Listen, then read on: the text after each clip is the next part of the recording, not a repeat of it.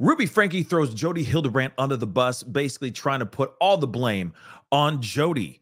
Man, we already saw this same act before. Are we really that surprised? We got to talk about this mess. P-A-S-C. What's up, y'all? It's your boy Pascal back at it again with another pop up video. Be sure to follow me on all my social medias, The Pascal Show. One word, hit that like button down below. And let's not forget to crush that subscribe button if you're watching on YouTube. And if you're watching on Facebook, please be sure to crush that follow button on my Facebook page if this is your first time checking out this channel right here. Yeah, anyway, we already know the story about Ruby Franke, Jodi Hildebrandt, the chaos, the craziness that's been revolving around this situation of this CA. We got to use these code words, but the CA charges that they are both looking at right now, and then some. Okay. It, it's pretty wild. Okay. But now we have some new information, which I want to show you guys this, this, uh, title right here really quick and you you could see she is entering a guilty plea deal like apparently she's entering a guilty plea for a deal i don't know what that deal is uh, I've looked around. I have not yet seen anything what she's going to get. Maybe, obviously, it's going to be some sort of a lesser charge, but hopefully they keep her locked up for a long time. But during this time, her team, her her lawyers have come out and they had some things to say in a statement. And in this statement, on behalf of Ruby, she's basically throwing Jodi Hildebrandt completely under the bus, basically saying it's all her. It's her fault and all that. But one thing I want to say before we go into this or this little statement and all that, I just want to point out as soon as she got arrested, they had a hearing. When she had her first court appearance, she tried to throw her own kids under the bus. I just want to make that abundantly clear. She tried to put blame on her children before this statement came out. Before she even tried to throw Jodi Hildebrandt under the bus, she was trying to throw her own kids under the bus. So to me, is this her having a moment of clarity or is this just another attempt on trying to get the court a little bit more on her side, getting some more sympathy on her side? I throw those questions out to you as we get into this article. Of course, I'm going to react to a little bit of it because there's a lot to say here.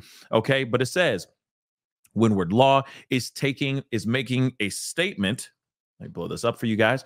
On behalf of Ruby Franke regarding the pending charges in the Washington County 5th District, along with her thoughts about her current family situation.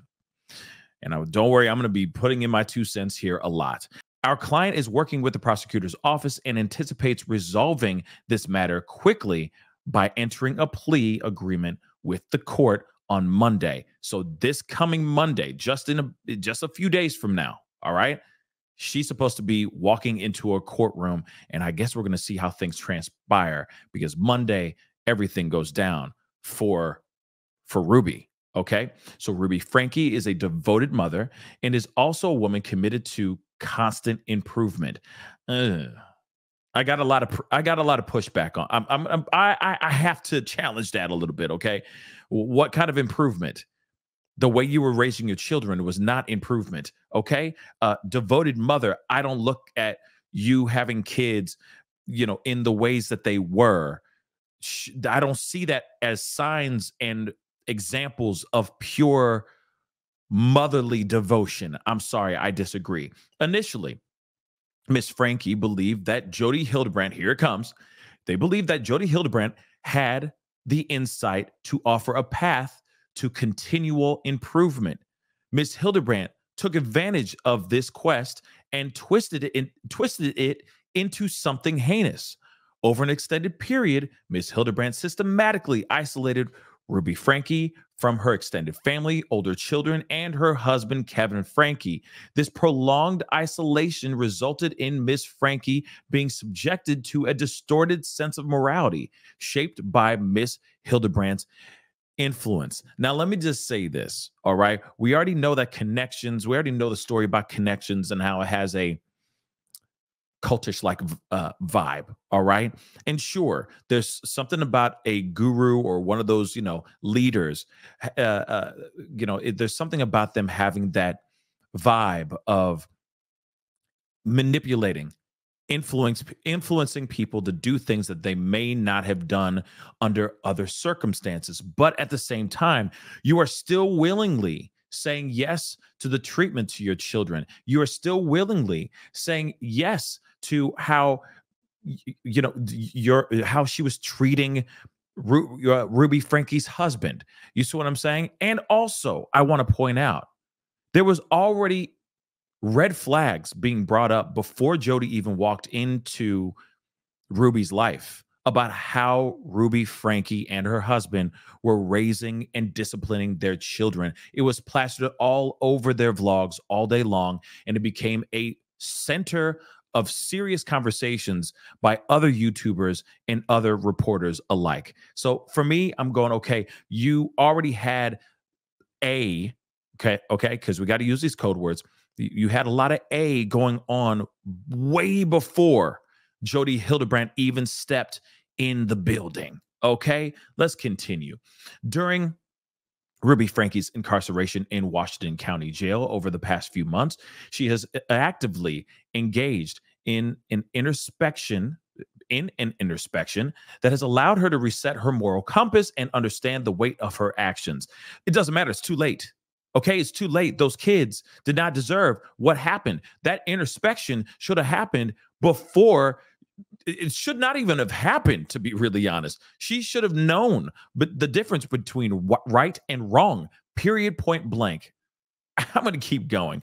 Okay, Miss Franke is committed to taking responsibility for the for the part she played in the events leading up to her incarceration, demonstrating a sincere uh, dedication Demonstrating a sincere dedication to personal growth and rehabilitation, she has actively begun the process by reaching out to members of her family.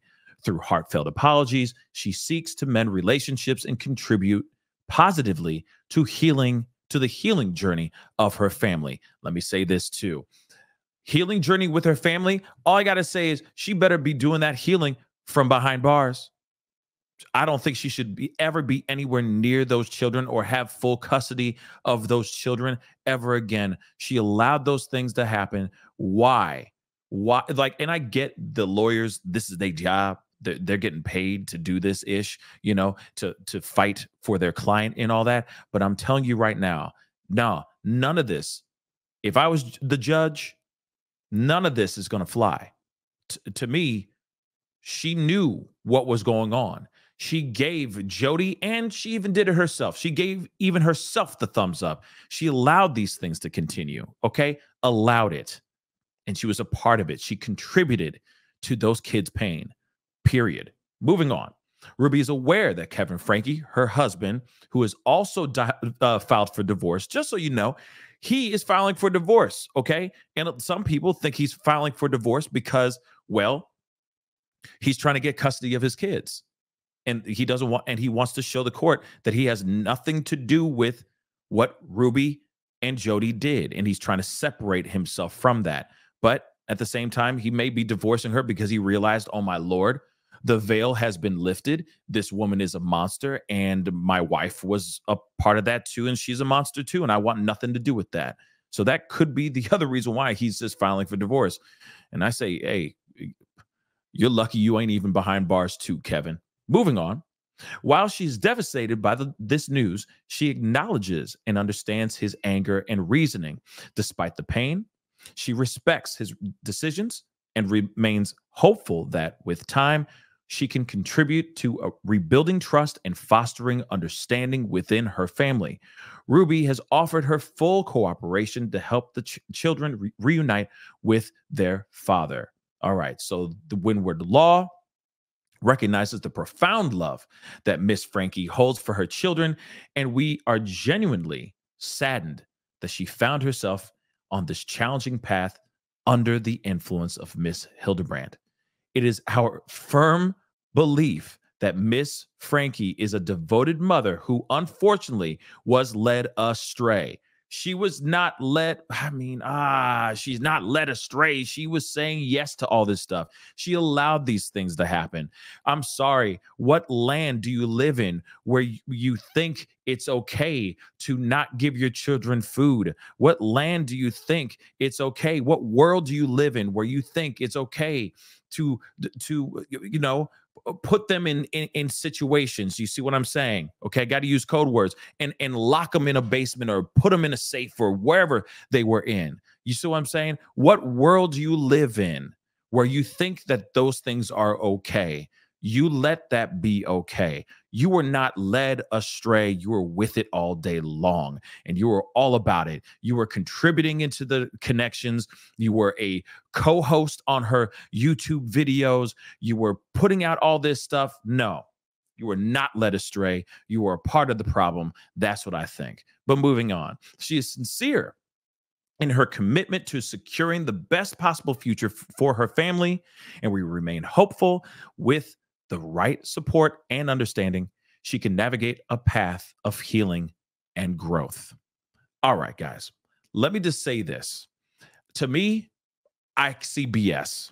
I say this is BS in my personal opinion. You got a person who was all about this for years. And before, I, am going to repeat myself again, but before Jodi Hildebrandt even waltzed into her life, she was already implementing some very questionable ways of of punishing or disciplining her children.